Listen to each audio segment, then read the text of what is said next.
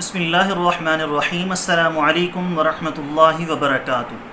دوستوں امید کرتا ہوں سارے خیریت سے ہوں گے۔ میں محمد اسماعیل آپ کو اپنے چینل کے اندر خوش آمدید کہتا ہوں۔ سب سے پہلے میری اللہ رب العزت کی ذات سے دعا ہے کہ پوری دنیا کے اندر جتنے بسنے والے انسان ہیں، اگر کوئی پریشان ہیں تو اللہ تعالیٰ ان کی پریشانی کو دور فرمائے، بیماروں کو کامل اور مکمل صحت عطا فرمائے، اور جو آپ کے حق کے اندر بہتر ہو، خدا تعالیٰ سب کو عطا فرمائے۔ دوستوں غذاؤں کے غلط استعمال کی وجہ سے بہت سارے لوگ ایسے ہیں جو میدے کے امراض کا شکار ہیں۔ اور جب آدمی میدے کے امراض کا شکار ہوتا ہے تو اس کی وجہ سے اس کا سارا کا سارا جسمانی نظام متاثر ہو جاتا ہے۔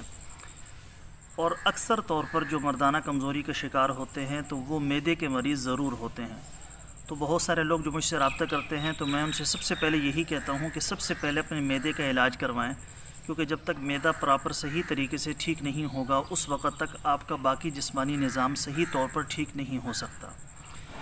پھر بہت سارے لوگ ایسے ہیں، سو میں سے پچانوے فیصد لوگ ایسے ہیں جو تیزابیت کے مریض ہوتے ہیں، جس کو وہ حقیقی گرمی سمجھ کر ٹھنڈی چیزوں کا استعمال زیادہ کرتے ہیں، جس کی وجہ سے جسم میں تیزابیت اور بڑھ جاتی ہے۔ یہ ہوتا کہ تیزابیت خارج ہوتی، لیکن چونکہ ٹھنڈی چیزوں کا استعمال کرتے ہیں، کسی سے مشورہ لیتے نہیں ہیں یا ایسے لوگوں کے پاس جاتے ہیں جو ان کو بہت زیادہ ٹھنڈی چیزیں کھانے کا مشورہ دیتے ہیں، جس سے تیزابیت عارضی طور پر ان کو سکون محسوس ہوتا ہے، لیکن تیزابیت دن بدن بڑھتی جاتی ہے، جس کی وجہ سے اور زیادہ ان کو نقصان اٹھانا پڑتا ہے۔ تو آج کی اس ویڈیو کے اندر جس موضوع پر میں آپ دوستوں سے گفتگو کرنے والا ہوں، جو نسخہ میں آپ کو بتانے والا ہوں، وہ سپرم کی کمی کا ہے، مادہ منویہ جسم کے اندر پیدا نہ ہوتا ہو یا پتلا پن ہو تو اس کے لیے ایک بہترین قسم کا مغلظ میں آپ دوستوں کی خدمت میں پیش کرنے والا ہوں۔ تو جن لوگوں کے سپرم کاؤنٹ تو ٹھیک ہیں لیکن ایکٹیو سپرم ان کی کمی ہے، تو ان شاء اللہ تعالیٰ یہ نسخہ سپرم کی ایکٹیویٹی کو بھی بڑھائے گا۔ اگر کاؤنٹنگ کے اندر کمی ہے تو کاؤنٹنگ بھی زیادہ کرے گا۔ اور ساتھ میں اگر منی کا پتلا پن ہے، مادہ تولید پتلا ہے، تو اس کو بھی گاڑا کرے گا۔ دو قسم کے نسخے بتانے والا ہوں جو آپ افورڈ کر سکیں۔ ایک نسخہ مہنگا ہے جو وہ افورڈ کر سکیں، وہ بنا لیں، اس کا رزلٹ انتہائی بہترین ہے۔ اور ایک سادہ سا نسخہ ہے اور اس میں اتنے زیادہ پیسے آپ کے خرچ نہیں ہوں گے، لیکن اس کا بھی رزلٹ اچھا ہے۔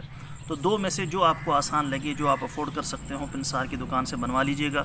ساری کی ساری چیزیں آپ کو بآسانی مل جائیں گی۔ چیزیں خالص ہوں، اعلیٰ معیار کی ہوں، تازہ ہوں، تو انشاءاللہ فائدہ جلدی بھی ہوگا اور بہترین ہوگا۔ نسخہ بتانے سے پہلے سب دوستوں کو گزارش ہے کہ نیچے ڈسکرپشن کے اندر میرے دوسرے یوٹیوب چینل کا لنک موجود ہے، ضرور وزٹ کیجیے گا، آپ کو بہت ساری قیمتی معلومات ملیں گی۔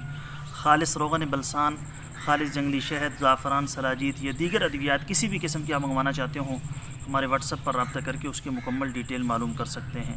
دوستوں نسخہ کیا ہے، کیسے بنانا ہے، کیسے استعمال کرنا ہے، تفصیل کے ساتھ سن لیتے ہیں۔ جی تو دوستوں نسخہ سن لیجیے۔ نسخہ نمبر ایک۔ سالب مصری سالب پنجا الائچی خرد، موسلی سفید، مغز اخروٹ۔ یہ ساری چیزیں آپ نے سو سو گرام لے لینی ہیں۔ مغز بادام، مغز خیارین، مغز بنولا، جیا پوتا ستاور اس گندے ناگوری۔ یہ آپ نے ساری چیزیں دو دو سو گرام لے لینی ہیں۔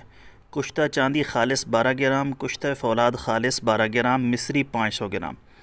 یہ ساری چیزوں کا آپ نے صفوف بنا لینا ہے، پاؤڈر بنا لینا ہے۔